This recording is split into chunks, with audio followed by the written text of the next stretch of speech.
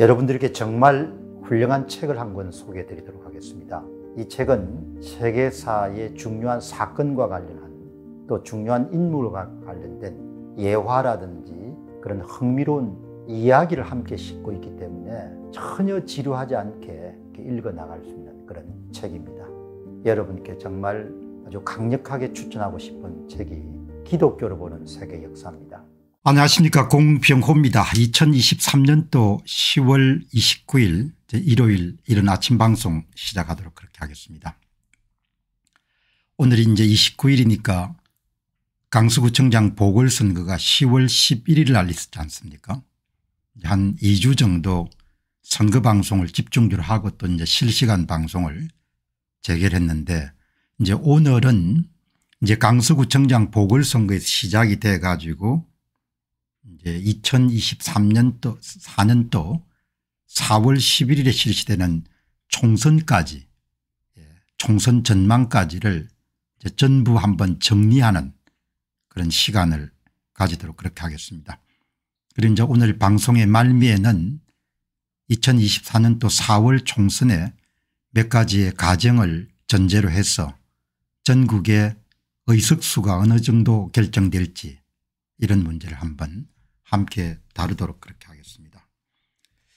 사실 이 정도까지 이제 선거 문제에 깊숙이 뭐 관여하리라고는 상상도 못했습니다만은 사실이 밝혀지게 되면 관련자들이 색출되고 또 그다음에 수사를 거쳐 가지고 관련자들이 처벌을 받지 않겠느냐 그렇게 이제 소박한 소망을 가지고 이제 2020년도 4.15 총선이 끝난 이후에 이 문제를 이제 들여다보기 시작했는데 결국은 이제 2022년도 11월 무렵에 2016년 총선 2017년 대선 2018년 전국 동시지방선거 2020년도 4.15 총선 2021년도 서울시장 부산시장 보궐선거 2022년도 3구 대통령 선거 2022년도 6월 1일 전국 동시지방선거 그리고 2023년도 4월 5일 보궐선거 마침내 2023년도 10월 11일 강서구청장 보궐선거를 통틀어 가지고 이제 여덟 번째 선관위가 주도한 사전투표 득표수 조작이 이루어진 것이죠. 아마 세계 역사상 공적기관인 선거관리위원회가 주도해 가지고 한 번이 아니라 여덟 번씩이나 그렇게 부정선거를 감행한 것은 세계 역사상 사례를 아마 찾아보기가 힘들 것이고 우리가 소망하듯이 다행히 이 문제가 세상에 밝혀지게 되면 정치학계나 이런 분야에서 연구하는 사람들은 한번 연구 주제로 삼아 볼 만큼 그렇게 아주 좋은 사례가 대한민국 그런 사례라고 그렇게 봅니다. 이 선거 부정의 중심에는 선거관리위원회가 있고 특정 정당의 사주를 받아서 여덟 번째 주문자 상표 부착 방식과 같이 그렇게 부정선거를 단행을 해왔고 정권이 바뀌었을 때 30년 정도의 검찰 출신인 그런 윤석열 대통령 후보가 등장했을 때는 윤석열 후보가 대통령으로 재임하고 있는 동안에는 사전투표 득표수 조작과 같은 그런 일들이 발생하지 않을 것으로 믿었던 분들이 굉장히 많았습니다. 그런 기대와 딴판으로 윤석열 정부의 첫 선거인 2022년도 6월 1일 전국 동시 지방선거 사전투표 조작을 시작을 해 가지고 지난번에 마무리됐던 2023년도 4월 5일 전국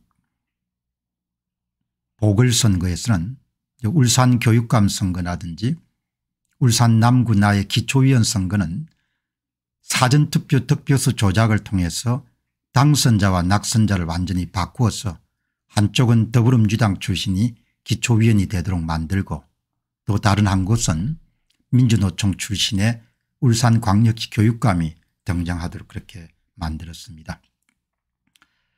선거 조작을 이렇게 감행하는 분들은 뭐 이런 두려움이나 이런 것이 없어 가지고 2023년도 10월 11일 강서구청장 보궐선거에는 선거 조작 역사상 가장 최고치에 그는 조작을 단행해서 강서구청장 보궐선거에 진교훈 후보가 당선되도록 그렇게 조작 작업을 마무리했습니다.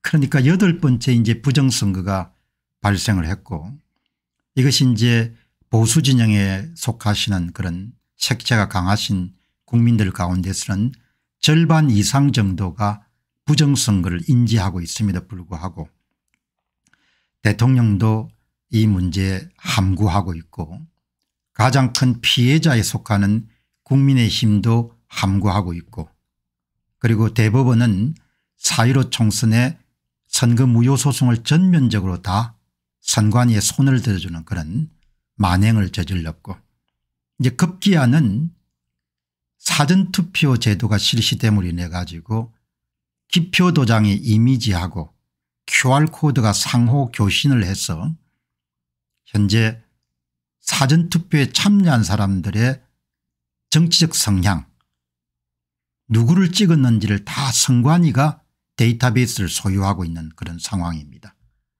그런 비밀선거가 명백하게 파괴됐음에도 불구하고 이종석 헌법재판관을 중심으로 하는 그런 헌재는 비밀투표가 파괴된 것을 그냥 기정사실화하고 합헌 문제가 없는 것으로 원고 측 소송 기각을 내렸습니다.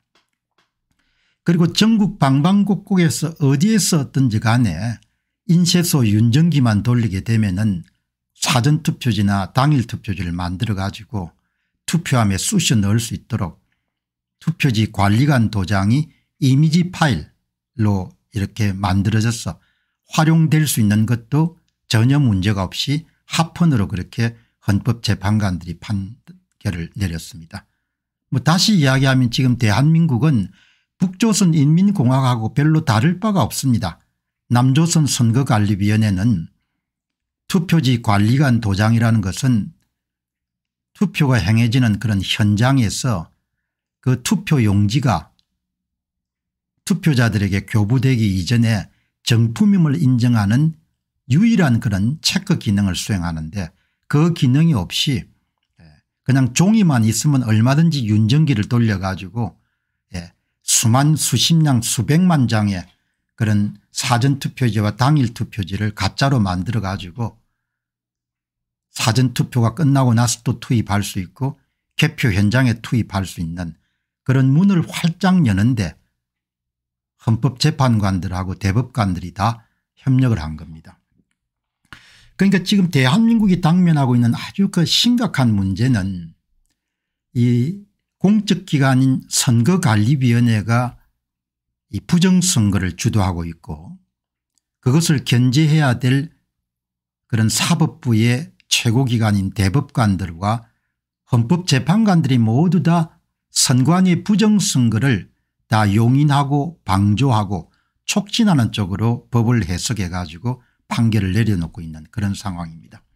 여기에다가 많은 국민들의 기대를 안고 출범한 그런 윤석열 대통령은 뭐 제가 보기에는 어제 한 분 말씀을 윤석열 대통령하고 동기시고 좀 잘 아는 분이 뭐 한꺼번에 뭘 처리할 거다 이렇게 생각하지만 뭐 저는 그렇게 믿지 않습니다. 윤석열 대통령은 재임 기간 중에 부정선거 붙자도 아마 언급하지 않을 인물이다 이렇게 생각하는 겁니다. 그 가장 큰 피해자인 국민의 힘이 침묵하고 대통령도 침묵하고 거기다 이제 언론계도 침묵하는 그런 상황이 됐고 유일하게 국가기관 가운데서 국정원이 지금 사전투표지가 실물로 된 그런 당일 투표와 달리 투표자 명부가 없지 않습니까? 세상에 투표자 명부가 없이 선거를 치르는 것이 지금 남조선 선관위가 주도하고 있는 사전투표 제도입니다. 그러니까 국정원이 감사 간이 감사라고 저는 보는데 감사를 통해 가지고 통합 전산상으로 존재하는 통합선거인 명부의 위변조를 통해 가지고 얼마든지 유령 사전투표자 수와 가짜 사전투표자 수를 제조 생산해 가지고 사전투표자 수를 뻥튀기 할 수 있고 중복 투표도 얼마든지 가능하도록 그렇게 할 수 있는 그 정도로 인터넷망을 통해서 얼마든지 중앙선거관리위원회 내부의 서버에 접근할 수 있는 그런 부분들을 유일하게 국정원이 감사를 통해 가지고 지적했을 그런 뿐입니다. 자 이제 이렇게 되면은 한번 우리가 정리를 하게 되면 결국은 이제 7년간 대한민국 국민들이 참정권을 박탈당한 상태에 살아왔는데 이제 윤석열 대통령이나 김기현 국민의힘의 당대표가 지금 하고 있는 것을 보게 되면 영구적으로 대한민국 국민들이 선거관리위원회가 정해주는 지도자를 모시고 살아야 되는 그러니까 국호는 대한민국 자유민주공화국이지만 실질적으로 그냥 남조선 선관위 조작위원회가 여러분들 관할하는 그런 대로 바뀌는 거죠. 그 북조선하고 남조선이 별로 크게 달라진 바가 없습니다. 예. 남조선이 유일하게 북조선에게 여러분들 우월적인 지위를 갖고 있는 것은 예. 국민들이 지도자를 스스로 뽑을 수 있는 것인데 국민들은 세금만 내고 지도자는 선관위가 뽑아주는 그런 아주 우스운 나라가 돼버렸고 결국 이제 우리가 입에 오르기 좀 부담스러워하지만 일당 지배 체제로 대한민국이 그냥 고착화돼 버린 겁니다. 이런 기막힌 여러분들 현실에서 언론은 한 줄도 이 문제를 다루지 않고 예, 대다수의 유튜브도 침묵하고 그래서 이 문제를 언젠가 그냥 놔야겠다고 생각했지만 아무도 이야기를 안 하니까 예, 이 문제를 계속해서 그냥 잡고 이렇게 나갈 수밖에 없는 예, 그런 상황입니다. 그러니까 쉽게 이야기하면 그냥 나라를 그냥 넘겨버린 상태입니다. 나라가. 앞으로 넘길 것이다 아니고 나라가 넘어간 겁니다. 누구에게 넘어가는 거 하니까 선거 사기 세력들이 국가를 장악한 겁니다. 예. 선거 사기 세력들을 왕으로 모시고 백성들이 노예로 사는데 대통령 국힘의 여당 당대표 그다음에 헌법재판관들 대법관들 언론인들이 다 협조를 해가지고 대한민국을 그냥 팔아먹은 겁니다. 예. 또 지금 채팅이 안 되구먼요. 예.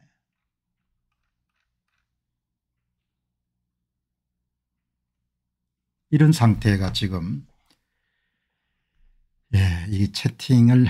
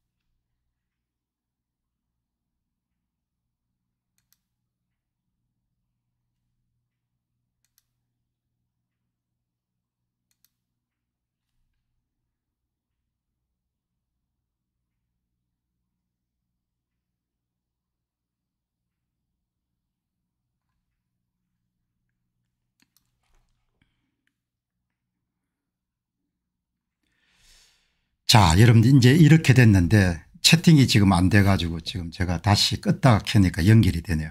이제 오늘은 참 여러분 어, 이 문제를 한번 정리하는 이제 일요일 아침이니까 그런 시간을 갖도록 하겠습니다. 그러니까 이제 오늘 방송을 보시는 분들이 정확하게 이제 인식하셔야 될 것은 그냥 대한민국의 주권이 선관위로 그냥 이동된 상태다 그렇게 보시면 되겠습니다.